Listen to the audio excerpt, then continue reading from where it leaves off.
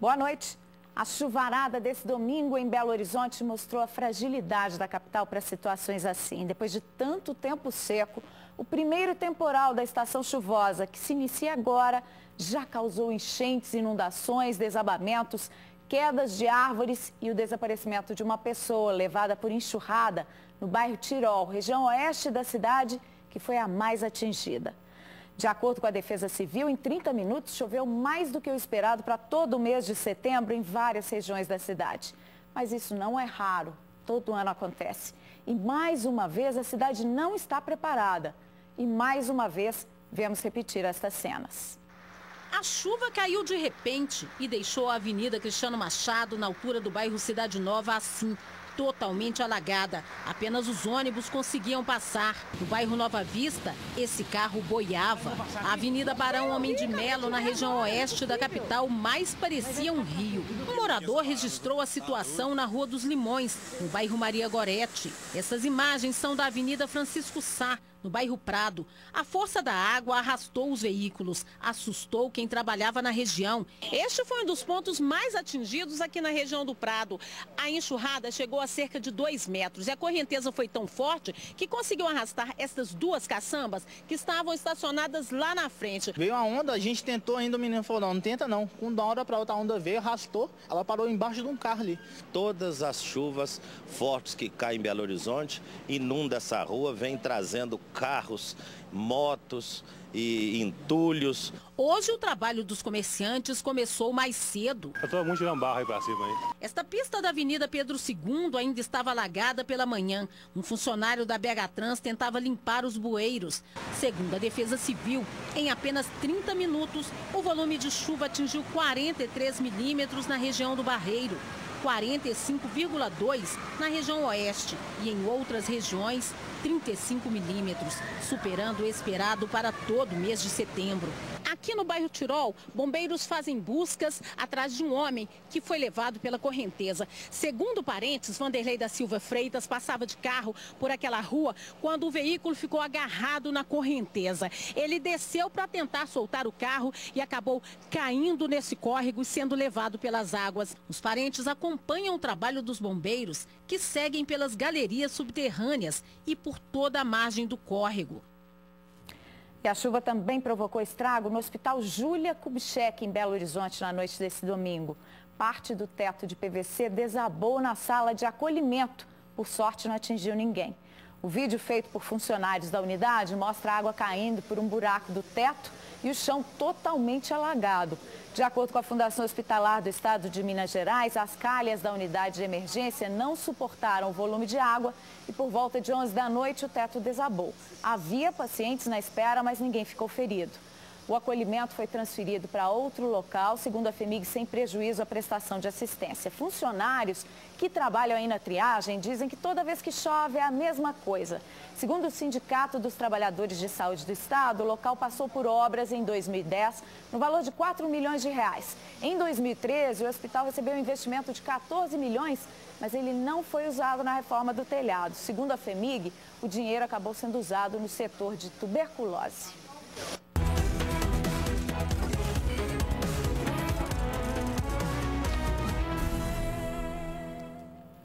A seis dias da votação, é importante que você conheça melhor qual é o papel do prefeito e dos vereadores para saber quem escolher para os cargos nas, nas eleições municipais. Há poucos dias de mais uma eleição, algumas dúvidas. Você sabe quem é que trabalha na Câmara Municipal? Nossa, você me apertou. Você sabe o que, que um vereador faz? Qual é o papel dele? Não. O que, que é a função do prefeito? O que, que é a função do vereador? Mais ou menos, né? Que eu não acompanho política, esses negócios, né? As cidades são governadas por prefeito e vereadores. Em outubro, os ocupantes desses cargos serão substituídos ou reeleitos por voto direto. Mas qual é a função de cada um? Os prefeitos devem fazer a cidade funcionar com a ajuda dos secretários, executar as políticas públicas de acordo com o orçamento aprovado pela Câmara, com verbas provenientes de impostos municipais como o IPTU e as repassadas pelo Estado e a União Depois, tem que prestar contas de tudo que foi feito. Então é função do prefeito municipal cuidar da coleta de lixo, daquela da educação básica, as creches. Na saúde, é função do prefeito cuidar daquela saúde mais básica, aquele primeiro atendimento que o cidadão tem. Qual é a função de um vereador? Primeira função, então, é discutir e elaborar os projetos de lei de assuntos relacionados ao município. Então, de um tributo municipal, exemplo, IPTU, de um assunto aqui em Belo Horizonte, Parque Municipal, Parque das Mangabeiras, as capivaras nas lagoas, na Lagoa das Pampulha. E isso funciona mais ou menos assim.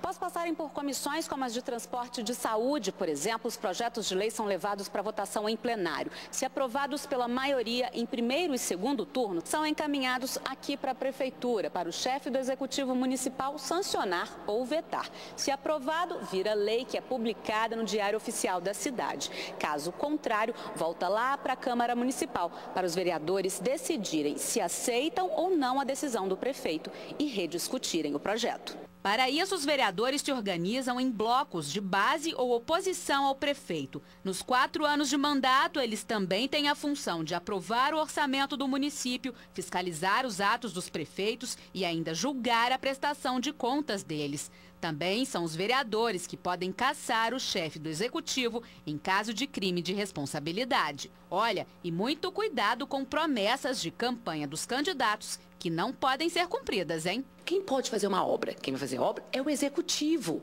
Quem vai dar cesta básica é o executivo. Então nós temos que ter muito cuidado com essas promessas vãs que são feitas, ter consciência no voto. Você tem algum recado para os vereadores, para o prefeito que vai entrar? que trabalhe direito, né? Com honestidade. O meu recado é que eles façam as leis é, pensando no povo e não neles mesmos e que o próximo prefeito possa cumprir essa lei à risca, né? Foi solto nesse fim de semana o suspeito de espancar um universitário na saída de uma casa de shows em Belo Horizonte na madrugada do 7 de setembro. Rafael Batista Bicalho, de 19 anos, ganhou liberdade no sábado depois de uma audiência na Justiça. Ele foi preso no dia 16 passado, preventivamente, como medida de proteção à ex-namorada e agora está sendo monitorado por meio de uma tornozeleira eletrônica. A moça, que no ano passado deu queixa contra ele por agressão, estava com o colega estudante de medicina, Henrique Papini, que foi espancado por um grupo de seis jovens na saída de um show no hangar 677 no bairro Olhos d'Água. Rafael é suspeito de ter comandado a agressão por ciúme. Para a Polícia Civil, ele teria dito que agiu sozinho e que só deu um chute na vítima. Mas no dia seguinte ao crime, postou esta foto da mão dele em rede social. Henrique Papini foi internado com traumatismo de face craniano, além de ferimentos por todo o corpo. Chegou a ficar em coma. Teve alta dias depois, mas voltou a ser internado. Segundo a família dele, Papini teve meningite traumática, mas vem reagindo bem ao tratamento. O delegado do Barreiro, Flávio Grossi, ainda não concluiu o inquérito sobre o espancamento. E a Polícia Civil recebeu hoje novas viaturas do governo do estado. Foram entregues 134 novas viaturas que fazem parte do primeiro lote. Elas vão atender diversas unidades policiais em 33 cidades mineiras. Outras 100 devem ser entregues no mês que vem. Os municípios atendidos inicialmente fazem parte da região metropolitana de Belo Horizonte. O índice de criminalidade aqui é mais alto, é mais elevado. E as viaturas aqui, por consequência, por consequência são mais utilizadas. Então existe uma necessidade de substituição maior pela região metropolitana. As viaturas foram locadas e, segundo o governo, isso vai facilitar a renovação da frota num tempo mais curto. O veículo na polícia ele é muito utilizado, então ele tem um desgaste maior, bem maior do que um veículo normal, um veículo particular. E o veículo sendo locado, por cerca de dois anos, assim, ela deverá ser renovada a frota. Voltamos a falar sobre a chuva que atingiu BH nesse domingo, agora para mostrar o drama de quem mora em local sem infraestrutura como no bairro Madre Teresa, região norte da capital. Cozinha, banheiro e quarto tomados pela água imunda. Esli diz que o esgoto voltou pelos ralos e o vaso sanitário após o temporal. Só viu o barulho já e o esgoto invadindo tudo já, folha, muito lodo, muita lama.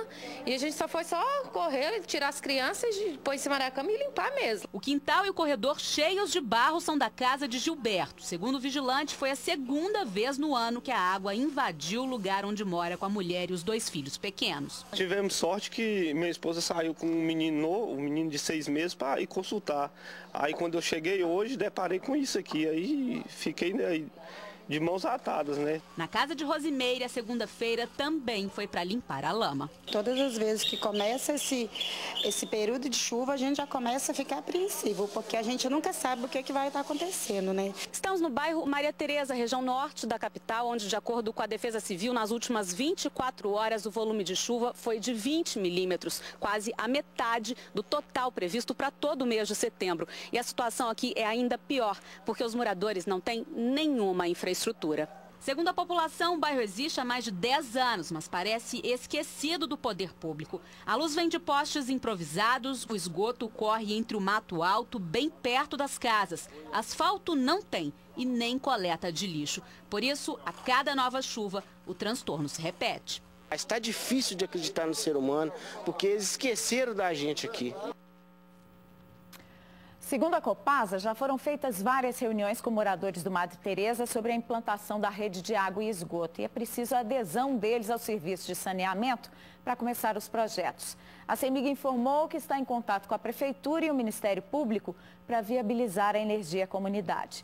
A Regional Norte diz que a regularização da área já foi aprovada no Orçamento Participativo 2013-2014 mas o plano urbanístico ainda está sendo desenvolvido pela Urbel e só depois de pronto é que vão poder ser feitas as intervenções. Vamos ver agora como é que fica o tempo nesta terça em todo o estado.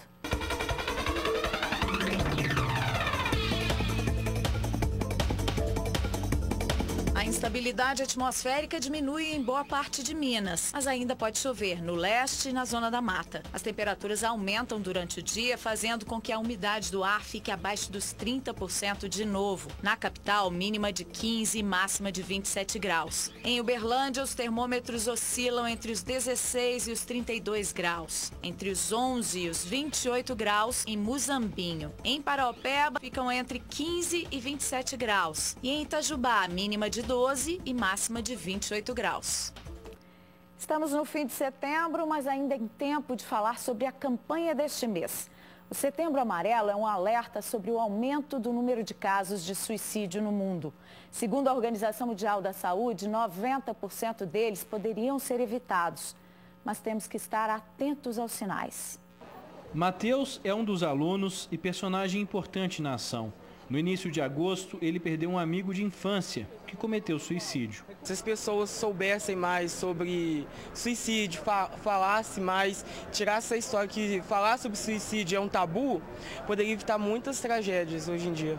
Paula foi a idealizadora da ação que rapidamente ganhou adeptos. Quando a gente vivencia isso, todo mundo se assusta muito, né? Quando alguma pessoa é, próximo comete suicídio, mas pouco é falado sobre isso, ainda é um assunto que tem muito tabu, que tem muito, muito fechado assim na sociedade e a gente reconheceu que isso precisa ser discutido porque é algo que pode ser prevenido, mas não recebe tanta atenção assim. Foram duas semanas para a preparação do material e da ação desenvolvida dentro do Setembro Amarelo Amarelo, um mês dedicado a discutir o suicídio.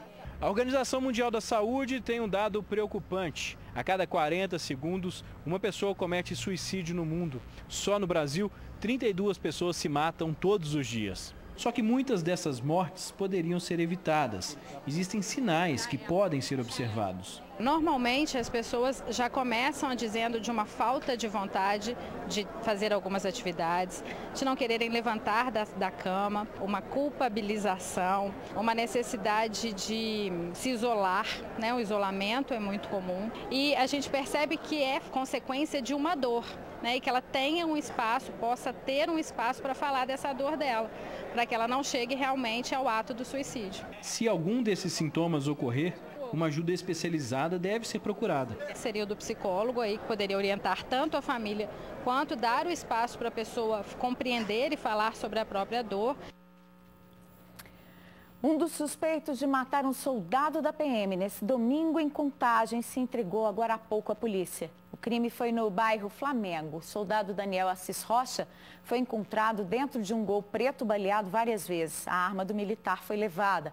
A polícia procura por outro homem que teria participado do crime. O corpo do soldado Assis foi levado para Brasília, onde será enterrado.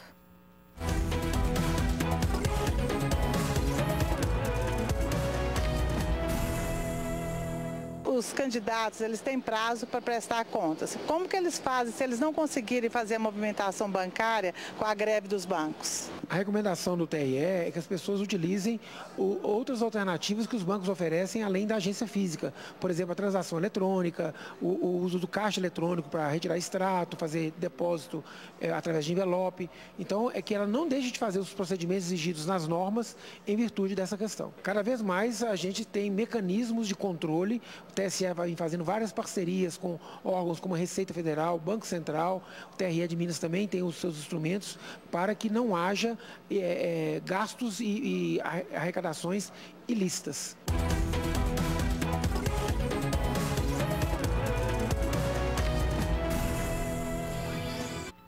Todo mundo aprecia o sabor picante da pimenta, mas ela pode fazer muito bem para a saúde se consumida em quantidade moderada. É o que você vai ver agora no nosso quadro Viver Bem.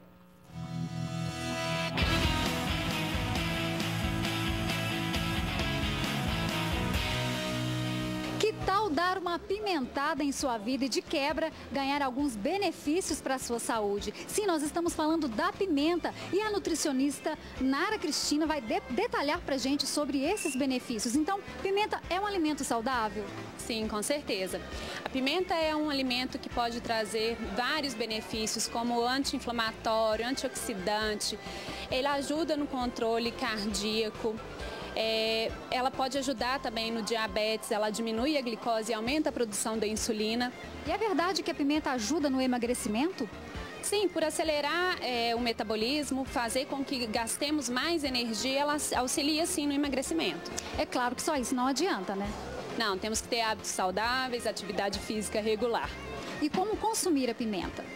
Meia pimenta malagueta ou seis pimentas dedo de moça, a gente consegue encontrar a quantidade necessária de capsaicina diária que o organismo precisa. E quem não pode comer pimenta de jeito nenhum? Pessoas com problemas gástricos e problemas intestinais devem evitar a pimenta.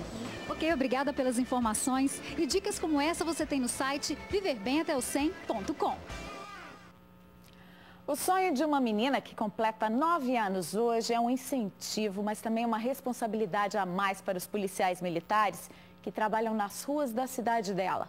Ribeirão das Neves, na Grande BH. É neles que ela se inspira ao dizer o que vai ser quando crescer. No dia do aniversário da menina, os pais e os PMs do bairro Florença se uniram para uma surpresa que foi o melhor presente que a Andriele podia ganhar. A garotinha de 9 anos que sonha em ser policial militar já estava a caráter e recebeu na porta de casa os futuros colegas de trabalho com continência.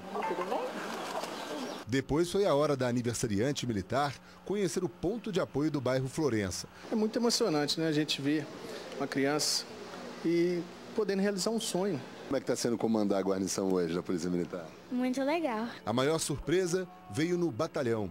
Andriele foi recebida com música, ganhou presente e teve a honra de hastear a bandeira do Brasil diante a todos da corporação e dos amigos da escola.